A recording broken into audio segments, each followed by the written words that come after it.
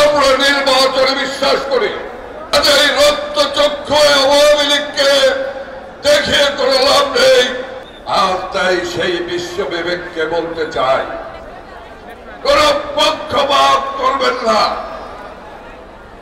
আমরা সকলের সঙ্গে বন্ধুত্ব চাই, প্রভুত্ব চাই না। আজকে মির্জা ফখরুল সাহেব গতকালকে হুমকি দিয়েছেন। আন্দোলনের নাকি শুরুই করে নাই। আন্দোলন করবে, কঠোর আন্দোলন, আমাদের নাকি ঘুম হারাম করে ফেলবে।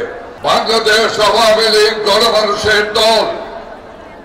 এই গণমানুষের দল কখনো ষড়যন্ত্র করে তার প্রতিষ্ঠা লগ্ন থেকে অদ্যবধি ক্ষমতায় থাকেনি, ক্ষমতায় যায়নি। আপনাদের মনে আছে উনিশশো ছিয়ানব্বই সনে জনগণকে সাথে নিয়ে শেখ হাসিনা ক্ষমতা গ্রহণ করেছিলেন। শেখ হাসিনা দু হাজার এক সালে তার ক্ষমতা পাঁচ বছর পূর্ণ হবার সাথে সাথে সেই ক্ষমতা ছেড়ে জনতার কাতারে চলে এসেছিলেন। একদিন, এক ঘন্টাও বেশি ক্ষমতায় থাকে না আমরা নির্বাচনে বিশ্বাস করি নির্বাচনী হল নির্বাচনী হল একমাত্র জনসমর্থনের নীতি সেই জনসমর্থন নিয়েই এই গণমানুষের দল ক্ষমতা আছে। কারও দয়া দক্ষিণতায় নয়। কাজেই রক্ত চক্ষু আওয়ামী লীগকে দেখিয়ে কোনো লাভ নেই। আওয়ামী লীগ গণমানুষের দল হিসাবে জনগণকে সাথে নিয়ে যতই ষড়যন্ত্র করে, নির্বাচন বাঞ্চলের জন্য সেই নির্বাচনী বৈতরণী আমরা পার হবই হব। শেখ হাসিনার নেতৃত্বে ইনশাল্লাহ ভাই এবং বোনেরা এই আওয়ামী লীগ একাত্তরে মুক্তিযুদ্ধ করেছে বঙ্গবন্ধুর নেতৃত্বে দেশ স্বাধীন করেছে। এই আওয়ামী লীগ তখনও জাতীয় আন্তর্জাতিক শক্তিকে মোকাবেলা করেই এই জননী জন্মভূমিকে স্বাধীন করেছে। আওয়ামী লীগ। আওয়ামী লীগ জনগণকে সাথে নিয়ে শেখ হাসিনার নেতৃত্বে সকল সামরিক জনতা এবং পতাঘাত করে দুই হাজার নয় সালে ক্ষমতায় এসেছিল।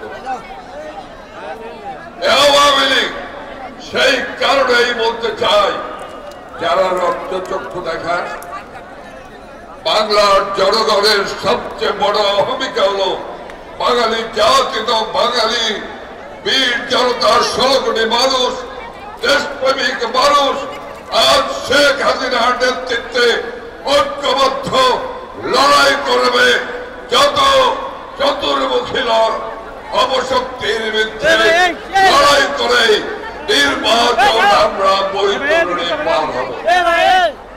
আমার ভাই এবং বোনেরা সদা সতর্ক থাকবে। যত ষড়যন্ত্রই হোক না কেন আজকে মির্জা ফখরুল সাহেব গতকালকে হুমকি দিয়েছেন আন্দোলনের নাকি শুরুই করে নাই। আন্দোলন করবে কঠোর আন্দোলন আমাদের নাকি ঘুম হারাম করে ফেলবে। দুই হাজার চোদ্দ সালে আন্দোলন করেছে। দুই হাজার চোদ্দ সালে মায়ের সামনে ব্যাংকে রেপ করেছে। ভাইয়ের সামনে রেপ করেছে। আমাদের হত্যা করেছে। শেখ হাসিনাকে হত্যার উদ্দেশ্যে দুই হাজার চার সালে একুশ আগস্ট গ্রেনেড হামলা চালিয়েছিলেন। তখন বিশ্ব বিবেক কোথায় ছিলেন? তখন বিশ্ব বিবেক কোথায় ছিলেন? আর তাই সেই বিশ্ব বিবেককে বলতে চাই, কোন পক্ষপাত করবেন না। আমরা সকলের সঙ্গে বন্ধুত্ব চাই, প্রভুত্ব চাই না।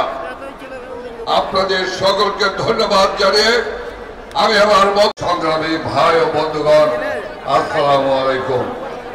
এখনও অনেক নেতৃবৃন্দ আছেন যারা বক্তৃতা দেবেন, গুরুত্বপূর্ণ বক্তব্য দেবেন।